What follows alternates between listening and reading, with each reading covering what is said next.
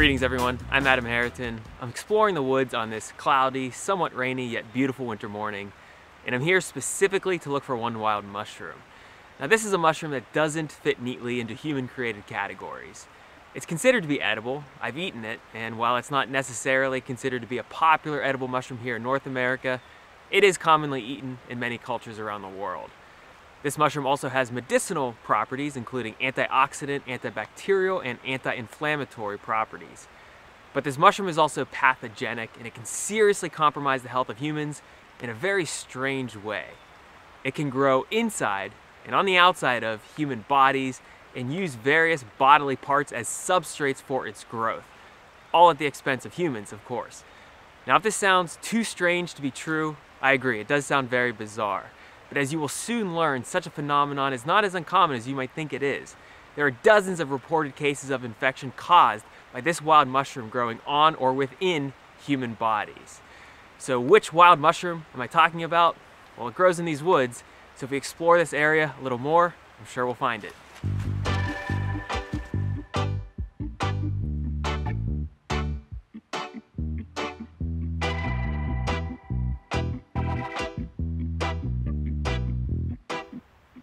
So today is the perfect day to look for this wild mushroom. And I say that for two reasons. Number one, we're in the winter season here in the northeastern portion of the United States. And this mushroom tends to fruit prolifically during the winter season.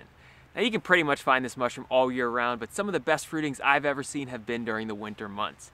The second reason why today is a great day to look for this mushroom is because it's wet out here. It rained all day yesterday, it rained a little bit this morning, and this mushroom really expands in wet weather. It dehydrates very easily when it's dry outside, and it can stick around for weeks, maybe even months in its dehydrated state, but once the rains return, it tends to plump back up. And I'm hanging out in an area with a lot of wood because this mushroom is a woody decomposer that grows on sticks and logs and stumps.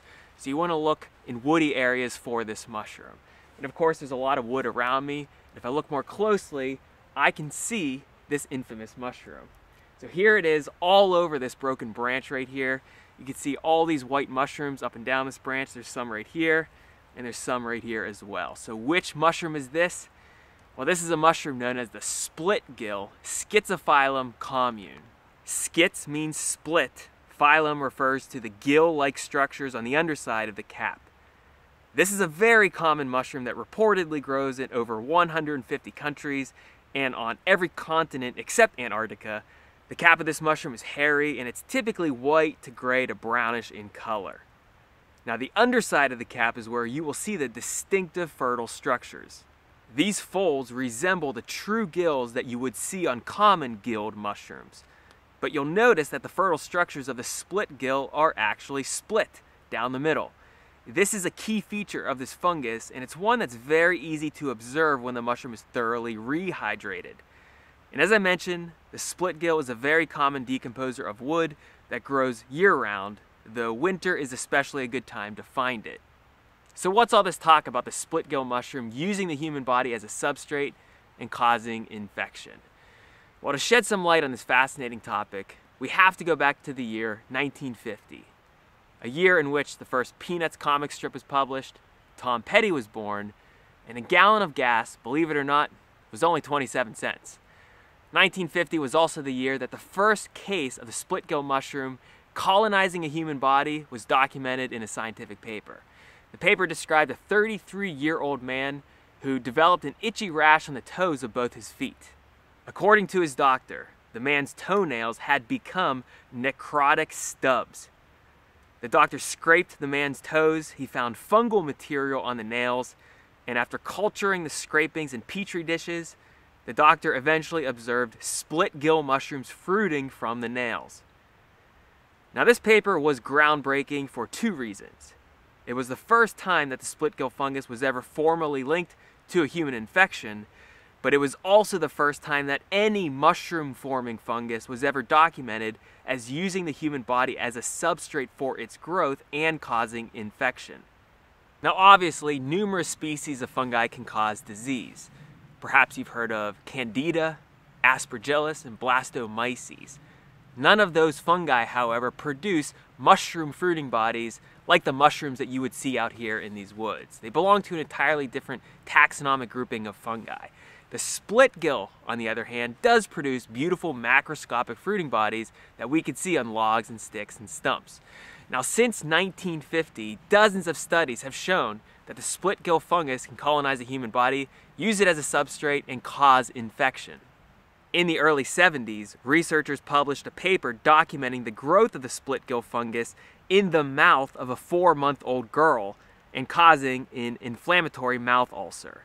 Upon being treated with an antifungal medication, the girl's symptoms subsided and her health returned. In the 1990s, a 58 year old man was admitted to the hospital for muscle weakness and for multiple lung and brain lesions. The doctors discovered that the split gill fungus had caused an initial lung infection that moved to his brain. And after taking samples for analysis, the doctors discovered that the split gill fungus was actually growing in the man's lungs and brain. Although the man was treated with medications, he died shortly thereafter. And more recently, just a few years ago, a 78 year old man was admitted to the hospital for fever and for breathing problems. The doctors discovered that the split gill fungus had caused a serious infection and was growing in the man's lungs. Despite treatment, the patient soon died from an accumulation of pus in his lungs. Now, I could go on and on and on with all the cases of the split gill fungus causing or being associated with infection in the human body. And to date, there have been over 90, 90 documented cases of this happening. The vast majority of cases involve the upper or lower respiratory tracts, but other cases involve meningitis, eye infections, and brain abscesses. Now, it's important to note that infection caused by the split gill is almost always caused by the growth of little fungal strands known as hyphae, rather than the growth of actual mushroom fruiting bodies. So when doctors discover an infection caused by the split gill, they're detecting these fungal strands of hyphae rather than the actual mushroom fruiting bodies in human beings. Only when the doctors isolate fungal material and proceed to culture them in petri dishes or when they send the fungal material away for DNA analysis do they discover that the split gill was the main culprit implicated in the disease. Now there are many questions that, at this point in the video, remain unanswered. For example, why does the split gill cause infection in humans? And how exactly does it cause infection? How does it get in the body in the first place? Well, the most likely route of infection is through the inhalation of spores. Remember, the split gill is a very common mushroom. It's found all over the world. All these mushrooms produce lots of spores and subsequently lots of opportunities for people to either inhale the spores or have the spores land on their bodies. These spores are obviously quite tenacious and they can germinate on or inside human bodies and grow into thin hyphal strands, which can cause infection and disease in some individuals. Now, of course, the vast majority of people will never develop an infection caused by the split gill fungus. There's a good chance that all of us watching this video have inhaled split gill mushroom spores on multiple occasions and have never had this fungus colonize our lungs or our brains. Now, certainly the risk of infection seems to be greater in immunocompromised people, but even among the immunocompromised, the risk of infection is relatively low. It's interesting to note, however, that in many of the cases reported in the scientific literature, people who were not immunocompromised came down with infection, and this anomaly was explicitly stated by the study's researchers. But when you dig a bit more deeply into the case histories of these patients, you soon realize that many of these people had underlying conditions, including hypertension, diabetes, allergies, and obesity. Now, a few minutes ago, I mentioned that the split gill fungus is unique in that it's a mushroom forming species that can grow in humans. And most other fungi that live and grow within humans, like Candida and Aspergillus, don't produce mushroom fruiting bodies ever. But as it turns out, the split gill is not the only mushroom forming fungus that can grow in humans. Other examples include the mica cap, the smoky polypore, the paddy straw mushroom, and the milk white toothed polypore. Ultimately, though, I don't think you need to worry too much about any of these fungi causing an infection in your body. Now, it's true that infections are probably underreported, and according to researchers, many more cases of infection probably exist compared to what the scientific literature actually suggests.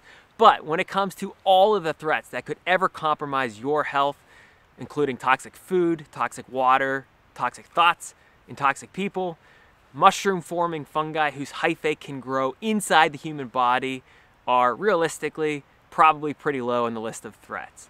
And as paradoxical as it sounds, especially after watching this video, ingesting mushrooms, either physically eating mushrooms or drinking mushrooms, is one way to build health and to maintain a functional immune system. So don't fear fungi, but learn and appreciate all the ways you can and must coexist with them.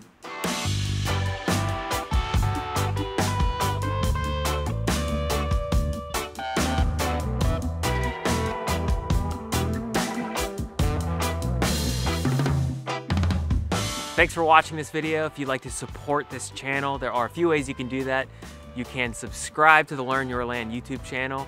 You can also head on over to learnyourland.com and sign up for the email newsletter. And if you are on social media, you can give Learn Your Land a follow on Instagram and on Facebook. Thanks again for watching. I truly appreciate it. I'll see you on the next video.